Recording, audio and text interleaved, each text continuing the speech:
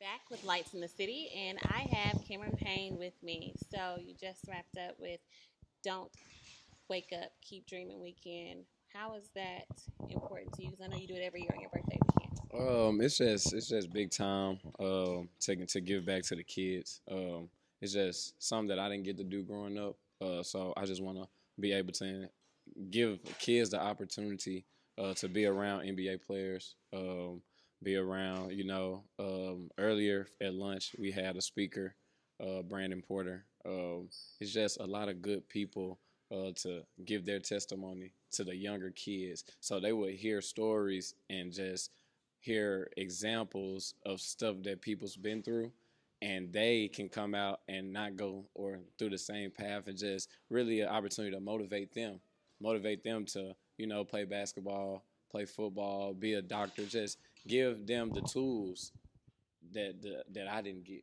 um, so it's just always big time for me to give back and let people see everything that i'm doing in the community And the participation is growing every year. I've seen it because I came out last year for Yep. the camp as well. So what did you guys do in addition to the campus? I know you usually do NDBs and a lot of charities and giveaways. What did you guys do this year? Um, we, we had the bowling event um uh, last night. It was a great turnout. Uh, Penny came, uh, brought the whole his whole team, whole University of Memphis team.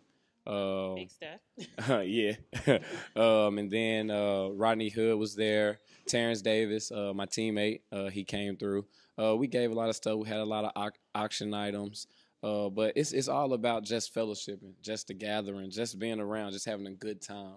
Um, like I said uh, before, I'm all about giving back. I just want to see people see what I what I have done and what I am doing currently. And uh, once again, I mean, it, it- it's just bringing people together. I, I'm gonna keep saying it, and I'm gonna preach on that. Um, I'm a big family guy, and uh, everybody that helped helped me during this thing, they're all my family, and uh, I appreciate them. Um, and it, it was a great turnout. Like today, we had the camp from nine to six. Like Right. it was a long time, uh, but everybody came in and had a good time. They came and worked their tail off, and the weekend it's just all about the community. And uh, I, I love the fact that I do that. Uh, my my family they helped me put it on, and I appreciate. it.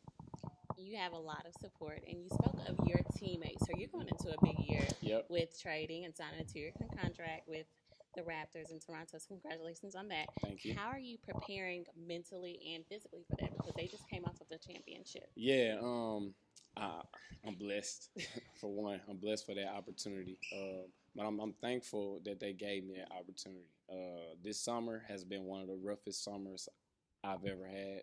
Um, technically, I was out of a job.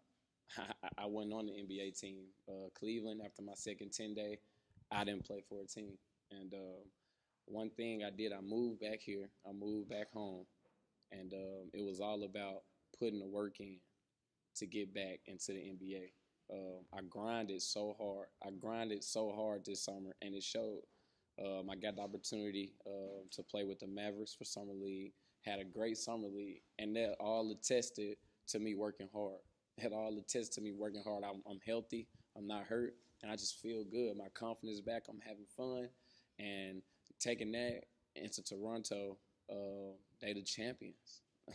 they got the target on their back, and I'm glad to be on that team. Uh, they're a great group of guys. I got Lausanne alumni with me. Uh, Marc, he on the team, and uh, man, it's, it's it's it's gonna be a great year, great year for me. And once again, like I say, I'm blessed, and I'm thankful for the opportunity.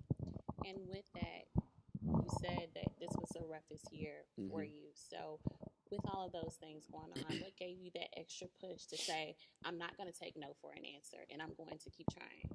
Cause like basketball is what I live for. Basketball is what I do, and um, it's a dream for me. Like DWKD, like I don't, I, I don't want to not be in the NBA, and I don't want it to be because I didn't go hard enough.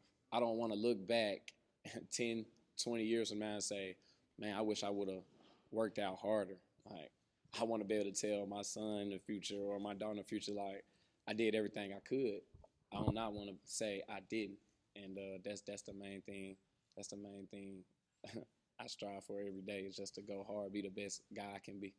And that is so powerful. So, going into this new season, and what is your main focus and your main goal for yourself that you're setting for you? Uh, my my main goal is just one, be healthy, stay healthy, Be healthy. Yeah. stay healthy. Uh, No two, injuries. no injuries, no injuries. But two, just show everybody that I'm back, that I'm back and I'm balling. That's it. Back and balling. You Back have and that balling. straight from Cameron Payne, and we are so excited for you on this new journey. And you guys make sure that you keep up with him on the season and stay tuned and keep watching. Thank you.